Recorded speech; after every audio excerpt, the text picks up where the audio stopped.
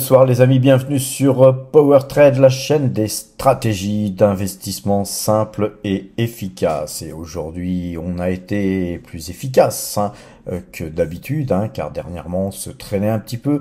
Là, aujourd'hui, le secteur de l'énergie monte à fond, ça monte, ça monte. Et vous savez que on attend que ça depuis le début de l'année. Et là, on a Total qui avait cassé un trend, un trend très euh, important à casser pour l'avoir effectivement enfin repartir sur un trend euh, haussier. Donc aujourd'hui, Total pèse pratiquement 57% du total de nos allocations d'actifs. D'ailleurs, à un moment donné, ça a pesé ça. Mais nous avons clôturé avec seulement 56,91% de nos allocations d'actifs sur cette valeur, cette superbe valeur qui va, je vous le rappelle, très très très prochainement nous verser un très généreux dividende. Nous avons euh, pratiquement euh, toutes les valeurs que nous avons en portefeuille euh, qui se sont aussi très bien comportées, hein, bien sûr, puisque nous avons aussi pas mal de valeurs pétrolières. Nos crypto-monnaies représentent aujourd'hui 21 505 euros du total hein, de ce que nous avons euh, en portefeuille en, crypto. Et euh, donc nous sommes principalement sur le BNB hein, qui a beaucoup monté dernièrement. On a du BTC aussi et on a un petit peu de TH. Donc ça représente 1,82% de l'ensemble de nos euh, allocations d'actifs. J'aurais bien envie d'alléger un peu là-dessus, mais je vois qu'il n'y a pas de signe euh, de, signes qui nous euh, permettent de, euh, de vendre hein, les actifs crypto. On le vend en poupe. Eh bien, on laisse filer, on laisse filer. De toute façon, ces 21 505 euros nous avaient même pas coûté 3000 euros en termes d'investissement. Donc, on est encore très très loin de notre zone d'achat. Je pense qu'on peut prendre des risques là-dessus. Aucun problème.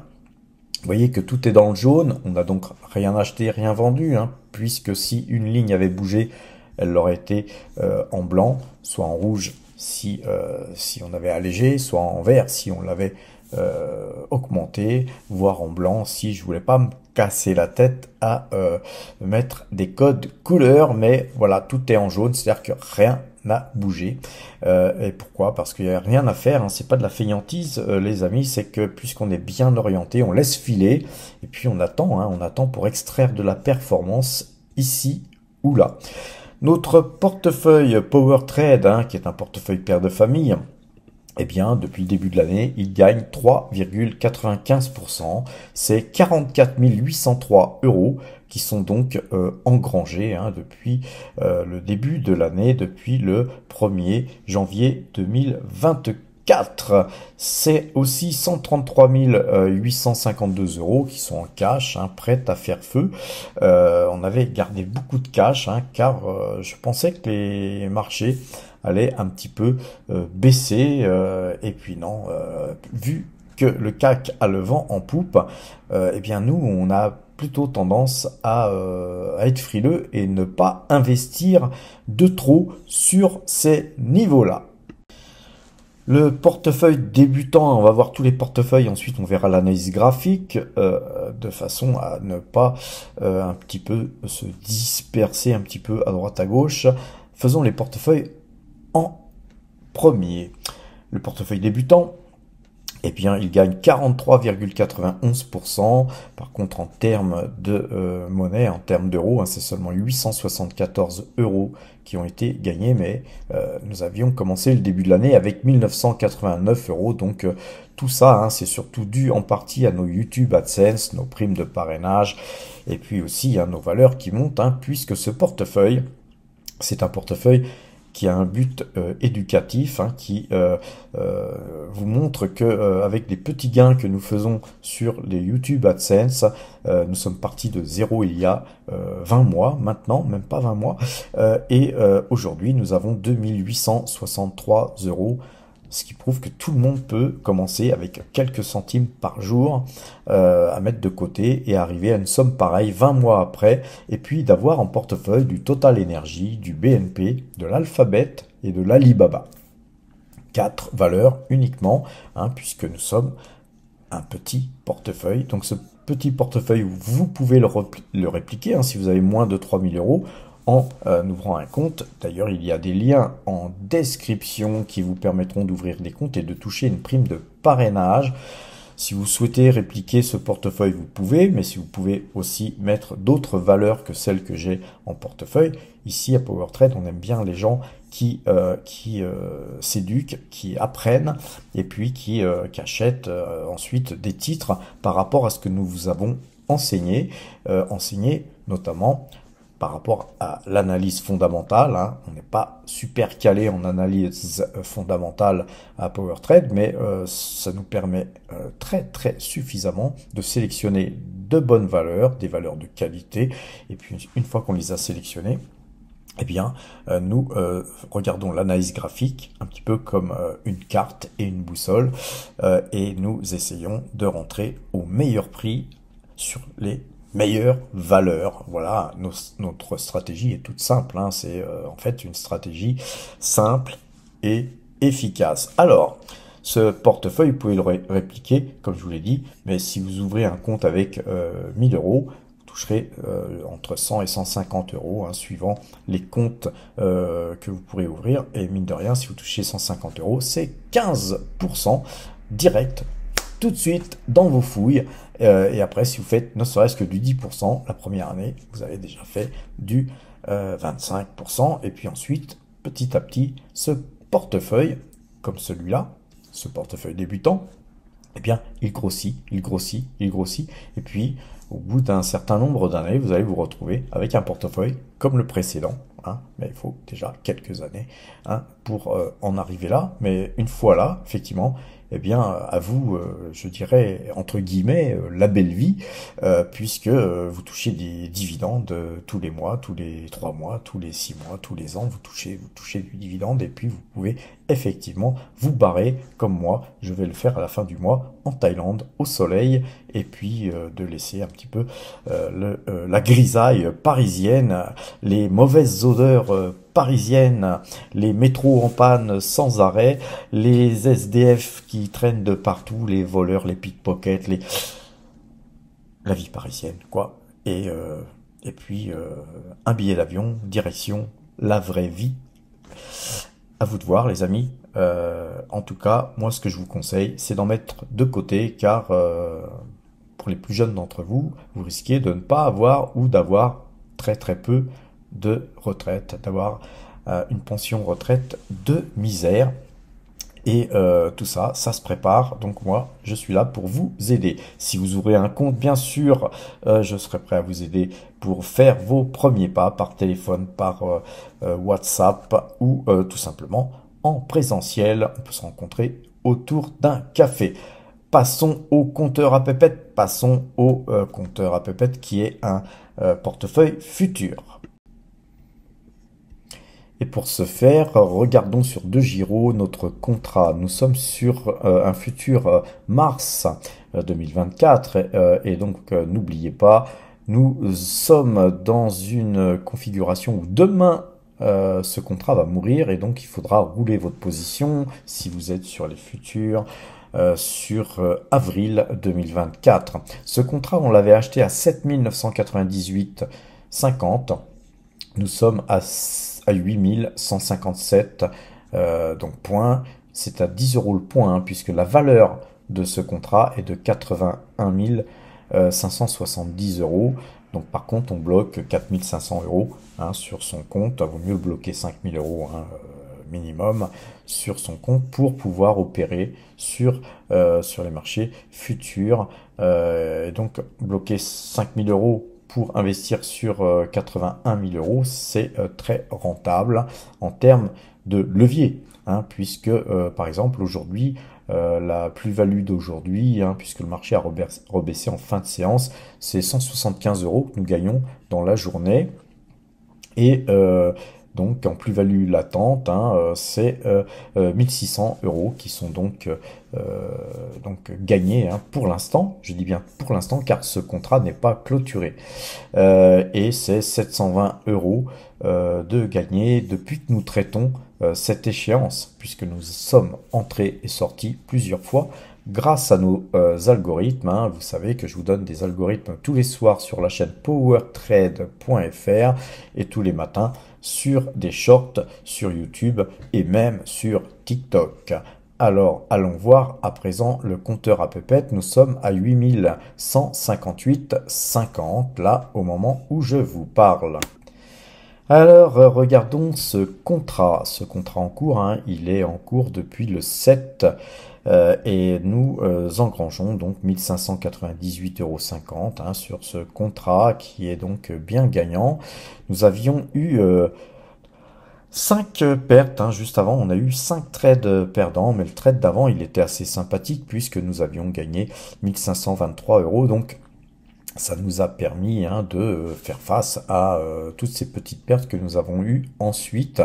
Euh, rappelez-vous, on a eu beaucoup de pertes dernièrement, mais globalement, nos gains sont supérieurs euh, à nos pertes. Hein. Quand on gagne, on gagne plus que quand on perd. Et ce qui compte, petit à petit, on accumule du pognon, du pognon, du pognon, car vous êtes sur la chaîne du pognon, les amis. Globalement, le résultat est de 3264,65 euros avec, depuis que nous traitons euh, cet indice euh, en date du 22 août 2023, 24 euh, trades perdants pour 13 trades gagnants. Vous voyez que on a beaucoup de trades euh, perdants dernièrement. L'an passé, je ne sais pas si vous vous rappelez ou allez voir, allez voir les vidéos euh, de l'an passé où on avait gagné pratiquement 200 000 euros sur les marchés futurs, hein, sur le compteur à pépette, on avait cartonné et euh, ce compteur à pépette, euh, il nous laissait afficher un trade gagnant pour un trade perdant. C'est-à-dire une fois sur deux, on gagnait, une fois on perdait en moyenne.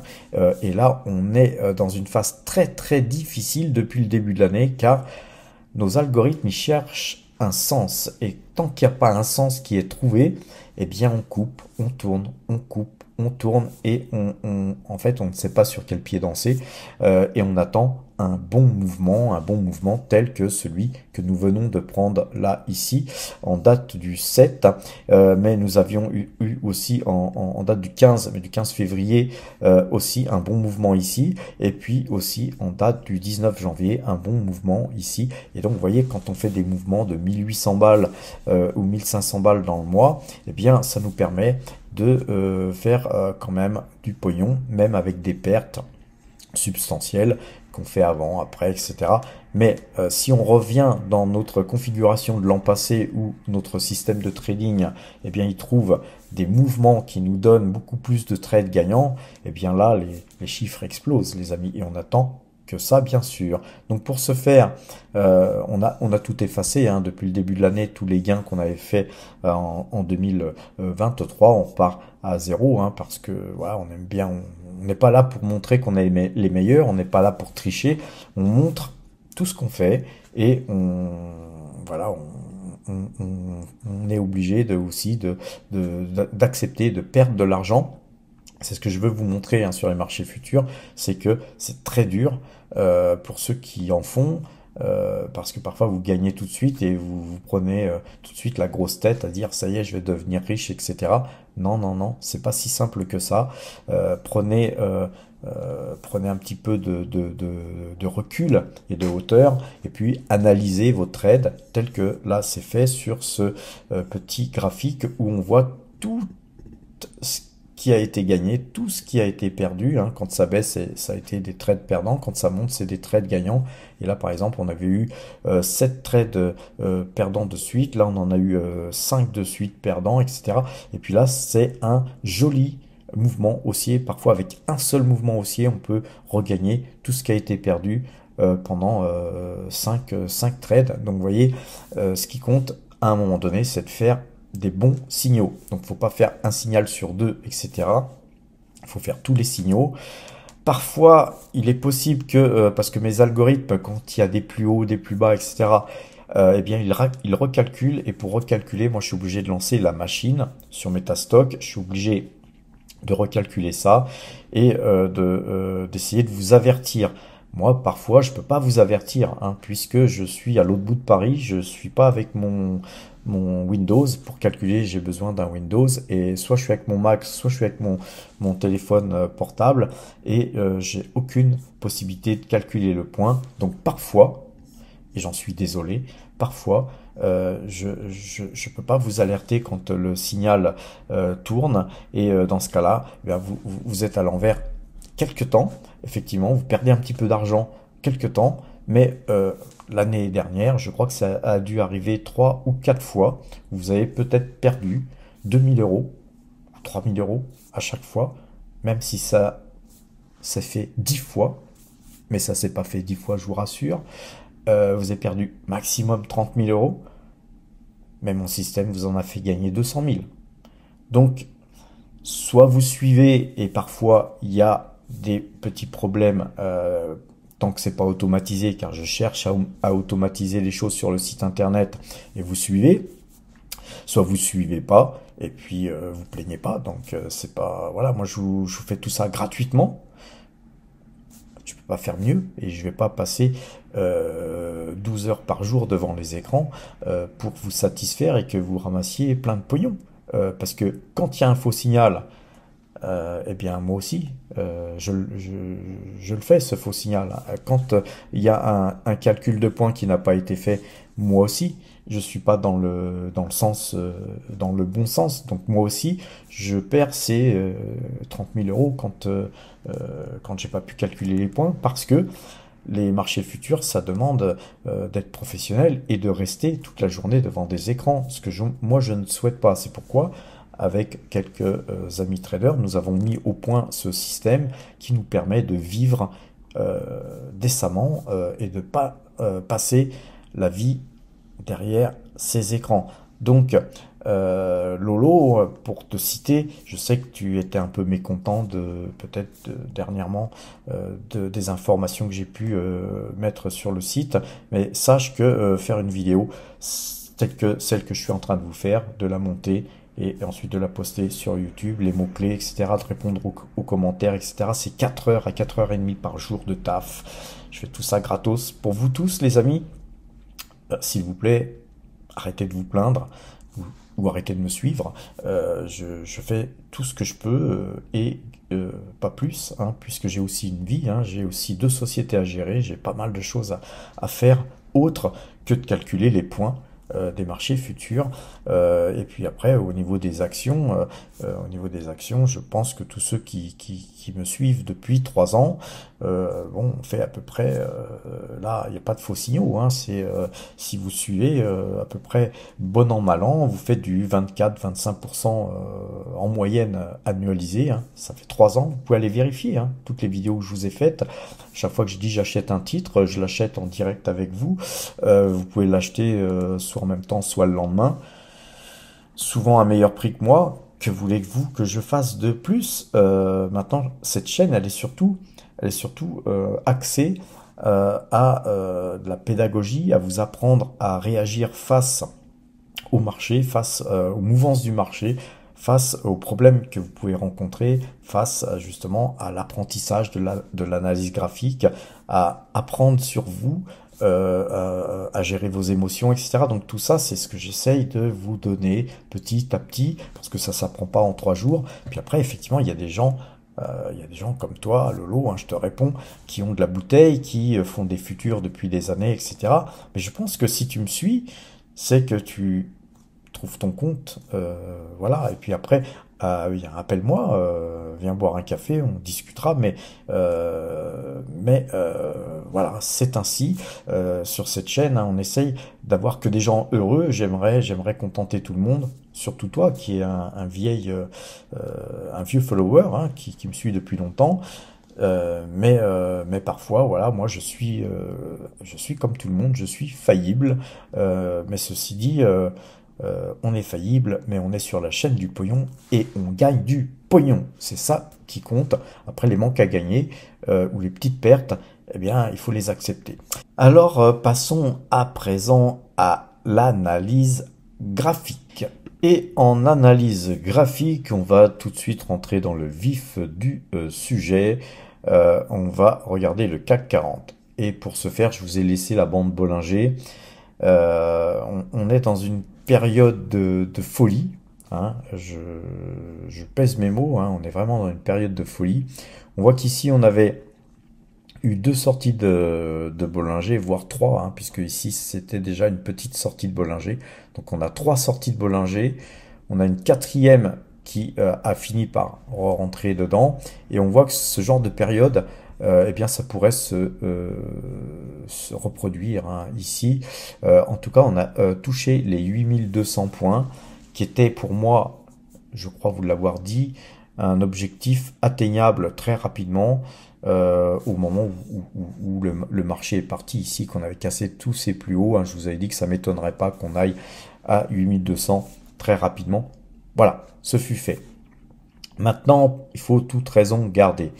Euh, je pense que les marchés euh, sont chers. Je pense que le, CAC est cher. Il est très bien valorisé.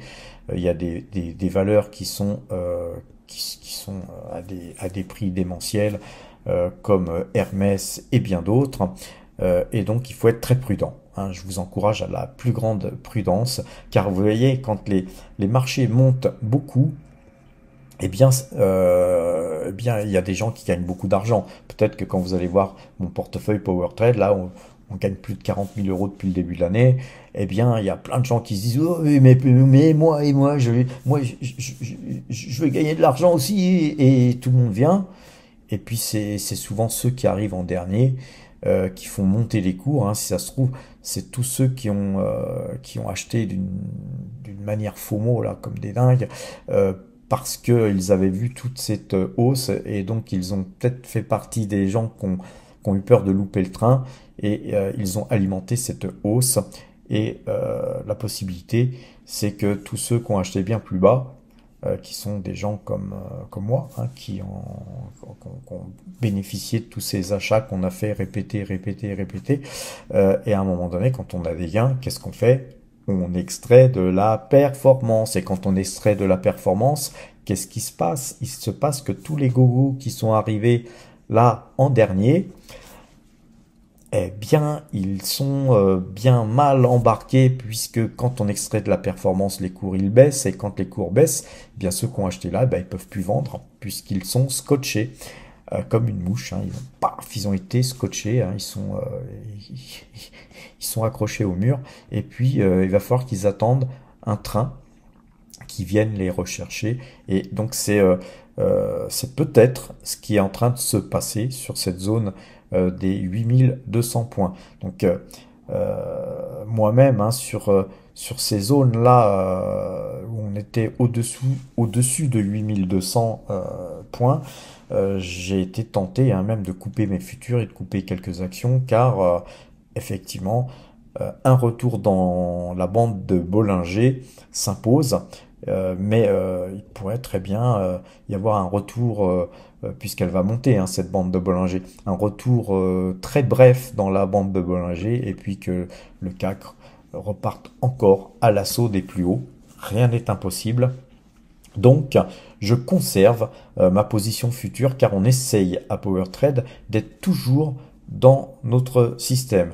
Par contre, demain, vendredi, puisque ça sera vendredi et que c'est la fin de notre échéance mars, si jamais euh, on cassait ces, euh, points hauts, euh, si on était sur les 8240, 8250, je couperai mon contrat futur et je verrai lundi pour revenir dedans ou pas. Car il est possible que sur des points comme ça, on ait de grosses, grosses prises de bénéfices. Regardons maintenant le DAX. Eh bien, le DAX, le DAX, il a failli passer vendeur, hein, puisqu'on était à, 17 880, je crois, le point de coupe, et puis on a fait 17 899 points, donc à 9 points près, hein, on va dire à 10 points près, euh, nous aurions pu passer euh, vendeur sur le DAX, le DAX qui a quand même perdu 0,11%, alors que le CAC, lui, gagnait euh, plus 0,29%. Donc on voit que les marchés deviennent euh, quand même plus euh, prudents sur cette zone et, euh, et donc à l'image de ce que je viens de vous dire, soyez prudents. concernant le S&P 500. Eh bien, lui, il est passé vendeur. Hein, il est passé vendeur. Euh, c'est bien, c'est bien naturel. Hein, on a un joli euh, train dossier. Donc, le marché, il va se poser des questions. Il y aura sûrement des faux signaux. Il faut les accepter. Voilà, il est passé vendeur. Je vous ai donné le point tardivement hein, euh, ce matin, car voilà, je suis très très occupé encore une fois en ce moment. je, je dois vraiment planifier tout ce que j'ai à faire dès le matin, j'ai des tonnes de choses à faire et donc voilà, je peux pas être au four et au moulin. Mais ceci dit, voilà, il faut s'attendre à une série de mauvais signaux, je pense, sur le S&P 500. Regardons un petit peu l'analyse de graphique hein, des valeurs que nous avons en portefeuille. Bon, sur Toto, on est toujours bien embringué. Hein, il n'y a pas grand-chose à dire hein, au niveau de l'analyse graphique puisqu'on est loin Hein, euh, de, de, cette bande Bollinger haute. La moyenne de jours 12 jours, elle est toujours croisée à l'achat. On a rebondi sur la 12. Tout va bien puisque ce trend a été cassé. Hein. C'était une force très acheteuse. Voilà, nous on a acheté à 3949, on est à 4252. Voilà, on surveille le yen. Il faudra que je vous fasse une vidéo sur le yen aussi, hein, sur l'euro yen. Euh, si on investit au Japon, il faut aussi regarder le yen. Concernant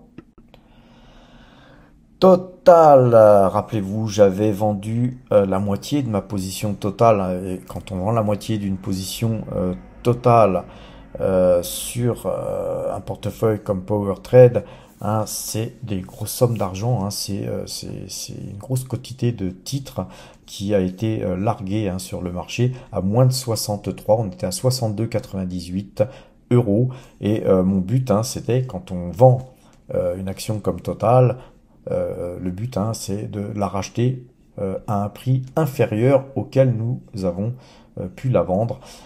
J'avais fait plusieurs vidéos hein, pour vous dire que moi j'espérais pouvoir la racheter sur les 57 euros. Elle n'y a jamais été. Et, et donc voilà, on a été un peu gourmand, on aurait pu acheter par là hein, sur les 59 euh, facilement, on l'a pas fait, donc ensuite on a un petit peu souffert, on a vu les cours euh, d'une manière erratique monter, descendre, donc on a eu des moments où euh, quand même c'était inquiétant puisque nous étions à des prix légèrement supérieurs à où nous étions sortis, mais moi je pensais que 63 hein, c'était euh, c'était coiffé hein, pour Total. Je pensais pas qu'on puisse aller beaucoup, beaucoup plus haut et puis qu'ensuite sur des points même légèrement plus haut, ensuite qu'on ait des grosses prises de bénéfices comme on a vu d'ailleurs là. Sauf que dans le timing, euh, je dois dire que j'ai pas été très très bon, hein, j'ai pas excellé puisque j'aurais pu euh, acheter sur des points plus bas que ce que j'ai pu faire ici. Mais à un moment donné, eh bien, il faut savoir prendre des décisions, des décisions comme euh, nous l'avons fait ici, hein, euh, quand nous avons commencé à acheter Hein, et là, on a fait feu de tout bois, hein, puisqu'on a acheté par plusieurs fois, hein, quasiment tous les jours, tous les trois jours, on achetait, on achetait, on achetait. Là, quand on a eu cette grosse période de baisse, on s'est abstenu, hein, puisqu'il faut savoir être sage, il faut savoir utiliser l'analyse graphique. Sur cette zone-là, qui était une zone importante, on a refait feu, et on a été plus bas. Ensuite, on a eu croisement de moyenne de jour 12 jours, on a refait feu, et ainsi de suite. C'est comme ça qu'il faut travailler, les amis, c'est toujours très long, hein, pour gagner, euh, pour gagner son argent, hein, pour gagner son aumône, euh, eh bien, il faut travailler. Je vous avais tracé ce trend jaune qui a été cassé. Euh, là, j'étais un peu feignant, j'étais un peu occupé ces derniers temps, j'ai pas pu noter. On a fait ici deux autres achats, hein, sans titre et sans titre, qui sont dans le portefeuille Power Trade faudra que je les note quand même, euh, juste euh, au moment où on avait cassé hein, ici, au moment où on allait casser ici, donc j'ai euh, fait tenter des achats et ça a payé, puisque vous voyez, nous avons fini par casser ce trend jaune, et puis quand on casse un trend, vous voyez, il y a une inertie, hein, c'est comme si c'était une planche, cette planche jaune, qui avait été cassée par un bras vert, petit martien, karatéka, qui aurait donné un coup euh, dans la planche, il a pété la planche, le, petit martien, et puis là, eh bien, par euh, l'inertie, il part, on ne sait où, mais il part. attention, nous sommes sortis de la bande Bollinger à l'image du CAC 40. Donc sur Total Energy, ça ne m'étonnerait guère de voir quelques prises de bénéfices. Mais vous savez, sur le pétrole, quand ça part, ça part et l'analyse graphique, euh, eh bien, euh, de temps en temps, il faut la mettre de côté. C'est ça que j'adore moi sur le pétrole, c'est que c'est sportif, hein, c'est un, combat euh, qui est souvent dur à mener, mais après une fois que vous avez trouvé une tendance, eh bien à l'image du Brent, eh bien une fois que vous êtes dans une tendance, vous avez des tendances qui durent assez longtemps et il y a un paquet de pognon à faire sur des valeurs cycliques euh, comme Total Energy qui en plus euh, va nous verser un gros dividende. Et euh, à PowerTrade, hein, nous avons quand même 10 700 titres. Je compte même pas les titres hein, qui sont sur le portefeuille des débutants. Hein. Je parle du portefeuille PowerTrade et 10 700 titres. C'est quand même 7 918 euros qui vont nous tomber dans les fouilles et qui pourront être réinvestis euh, intelligemment sur euh, des valeurs qui nous offriront de belles opportunités. Sur SO, on a une, ribambelle de euh, sortie de Bollinger, comme quoi vous voyez quand ça part sur le pétrole, déjà que SO avait beaucoup monté, et quand le pétrole s'est mis à son tour à monter, eh bien SO a dû suivre. Et donc SO a suivi euh, beaucoup plus l'analyse du, pétrole, en fait, hein, les cours du pétrole, euh, plutôt que l'analyse euh, technique, graphique, puisque les, gens, ce qu'ils regardent, c'est combien je vais gagner comme pognon, et les graphiques, ils s'en tapent. Hein. Je veux dire, quand si, si, si, le, si le Brent, il, demain, il prend 10%, je peux vous dire qu'on aura encore une sortie de, de Bollinger sur SO tout ce que je vous dis sur l'analyse graphique, c'est dans des configurations où on a des configurations euh, de marché normales. Hein. quand on est dans la normalité, effectivement, les sorties de Bollinger, c'est très intéressant.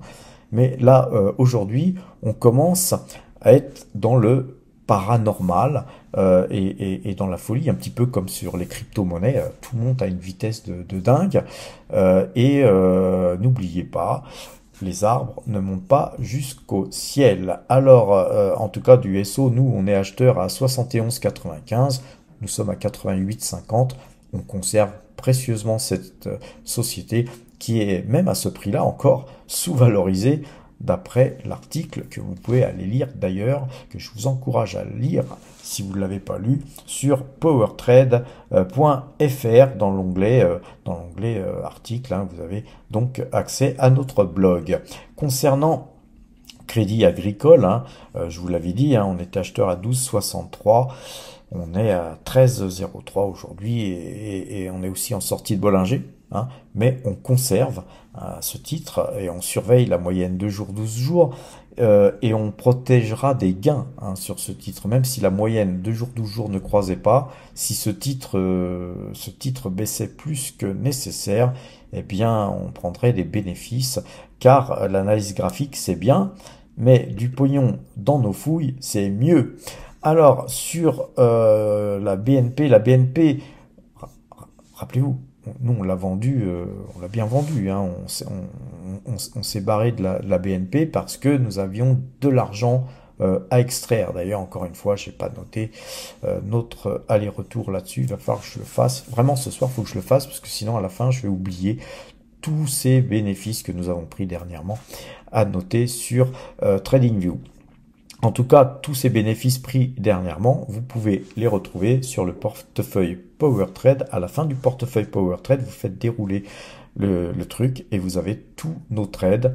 Et vous pouvez cliquer sur, euh, sur le, prix où j'ai acheté, le prix où j'ai vendu, et vous, allez vous retrouver sur la vidéo. Hein. vous allez remonter le temps et vous retrouver sur la vidéo où j'ai dit j'achète ça ou je vends ça. Aussi simple que ça, les amis.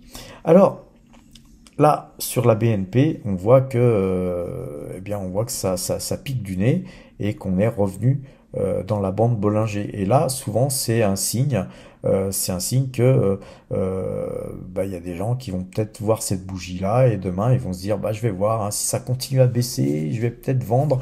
Et puis de fil en aiguille il y a une deuxième bougie rouge qui se qui s'affiche. Et puis ça fait ça fait un peu paniquer tous ceux qui ont acheté par là et qui se disent oh là là j'ai beaucoup de gains là moi faut que je les prenne. Donc tout le monde se met à vendre. Et puis le titre eh bien il baisse c'est aussi simple que ça la Société Générale que nous avions vendu euh, dernièrement, eh bien, euh, j'ai encore pas noté notre prix de vente, là aussi, il faudra que je le fasse. Eh bien là, elle donne des signes de fatigue. Euh, alors elle peut continuer hein, demain et me faire mentir, mais je pense que ce titre mérite un petit retour en arrière. Concernant Intesa San Paolo, bien là, on conserve nous ce titre, hein, rien que pour le dividende. Là, on est dans le haut de cette bougie, on est dans le, les 25% du haut de cette bougie. Donc c'est pour moi une consolidation, retour euh, dans la bande Bollinger. Je pense que euh, c'est un titre qui a encore une euh, perspective de hausse assez importante. Et puis là, on est loin de notre prix d'achat, donc on pourra couper hein, éventuellement si ça se passait mal très très facilement. Alors la COFAS, très très belle journée encore aujourd'hui sur la COFAS. On va regarder un peu tous les, tous les trades qu'on a sur ce titre. J'avais euh, pas marqué ce qui a été fait avant, mais on était euh, sorti ici hein, sur euh, deux achats qui se sont concrétisés par deux ventes, mais nous avons encore une grosse position sur ce titre que nous conservons. Hein. Qui verse un énorme dividende. Hein, je me rappelle encore qu'il y a pas mal de gens qui m'avaient dit les fondamentaux sont pas bons, pourquoi tu rentres sur euh, Patrick? Eh bien voilà pourquoi je rentre sur Cofas pour faire du pognon. C'est aussi simple que ça. Alors, on avait acheté euh, dernièrement euh, H Auto hein, et un possible rebond hein, là-dessus. Je pense que ce rebond devrait se concrétiser. Mais là, sur toutes ces petites bougies, là, mine de rien, c'était des grosses hausses qu'il y a eu. Eh ben, prise de bénéfices. En tout cas, on conserve ce titre pour euh, un énorme dividende hein, qui nous tombe euh, dans les fouilles euh, tous les trois mois, hein, je crois. Donc on va conserver ce dividende. Ecopétrol, eh bien, elle monte avec une bougie rouge. Là, on voit que c'est c'est pas très propre. Hein. Je pense que voilà, moi je déconseille, bien que je suis acheteur encore sur Ecopétrol, mais je déconseille de rentrer sur ce titre actuellement car nous n'avons pas encore assez de visibilité pour refaire feu là-dessus. Nous allons voir Dassault Aviation qui monte de pratiquement 2% aujourd'hui. Mais on est encore loin de notre cours d'achat. Vous voyez, on fait pas que des bons coups hein, à Power Trade. Parfois, euh, eh bien, on se laisse piéger par euh, euh, par l'achat d'une d'une valeur parce qu'on casse un train, parce que ceci, cela. L'analyse graphique a ses limites. Hein. C'est pas une science exacte à 100% tout le temps. Ça marche à 80% du temps bien qu'il y a des détracteurs de l'analyse graphique, et eh bien moi j'encourage tous ces détracteurs à regarder un petit peu mieux les graphiques et, suivre la chaîne Power Trade, car nous prouvons pratiquement tous les jours que l'analyse graphique, eh bien c'est très utile. En tout cas, je ne force personne ni à nous suivre, ni à utiliser l'analyse graphique. Hein. Chacun fait ce qu'il veut. Hein. Si vous souhaitez faire du fondamental et acheter du Hermès au prix actuel, faites. Mais moi, je ne fais pas. Alors, euh, on va regarder euh, aussi euh, NJ hein, qui monte encore aujourd'hui. Donc, on est encore dans ce canal haussier. Tant qu'on est dans ce canal haussier, qu'on va d'ailleurs, qu'on va d'ailleurs euh, un petit peu déplacé, hein, puisque, ce canal haussier, eh bien, il continue. Donc euh, nous, on reste acheteur sur euh, cette valeur. Quoi vous montrer Je vais vous montrer Thales, Thales qui se porte bien, hein, il se porte bien, hein, oui, puisque Monsieur Macron va mettre un petit peu de budget, je crois encore en plus, dans le budget militaire pour offrir tout un tas de matériel à nos amis ukrainiens. Donc tout va bien. Dommage pour les morts, hein, mais, euh, mais voilà, je pense que peu de gens euh, ont à l'esprit tous les morts qu'il y a actuellement en Ukraine avec cette guerre qu'on aurait pu éviter, hein, à mon avis. Mais, mais voilà, nous on est là pour faire de l'argent. Donc, quand on a des, des, chefs de guerre hein, qui, qui, ont euh, l'esprit guerrier, eh bien, euh, eh bien, ça fait vendre des armes. Et euh, quand les armes se vendent, eh bien, il faut, il faut, il faut investir dans le secteur de l'armement. C'est aussi simple que ça. Concernant Thermador, je vous avais dit hein, que c'est une excellente valeur. Et là, on a un double bottom qui se forme. Je pense que si on cassait ce plus haut là de 87, on va dire 87, si on cassait 87, c'est une valeur qui pourra aller beaucoup, beaucoup plus haut. Concernant euh, donc DNX Corp, euh, ben, rien ne change hein, sur ma façon de voir les choses sur cette valeur. Euh, nous étions sortis à 40, on était sorti à 22,47, on était sorti à 47, on était entré à 19,09€, hein, sorti à 22,47€, on a fait un bon coup de trading. J'avais extrait de la performance ici de par euh, par deux fois, je crois. Et puis là, on casse les Bollinger vers le bas. Donc vous voyez, on a un marché qui est super haussier et puis une valeur euh, qui est super baissière. Euh, et donc ça, c'est pas bon. Hein, c'est pas bon du tout. Ça veut dire qu'il y a des gens, a priori, hein, je pense, qu'il y a des gens qui, qui, prennent leurs bénéfices, comme moi je l'ai fait ici, qui avait acheté sur les 15 ou 19, qui prennent des bénéfices pour sortir de cette valeur, pour racheter des valeurs plus euh, plus sûr, euh, car euh, il y a des effectivement des graphiques qui, qui ont plus le vent en poupe que celui-là. Et donc, encore une fois, on voit un peu l'effet moutonnier des gens où tout le monde vend. voilà, ils vendent tous comme des dingues un titre pour acheter d'autres trucs à des prix peut-être très élevés et euh, peut-être qu'ils font la mauvaise affaire de leur vie, ces gens qui vendent cette belle valeur. En tout cas, nous, on a déjà vendu sur un plus haut, donc on est très content qu'elle baisse.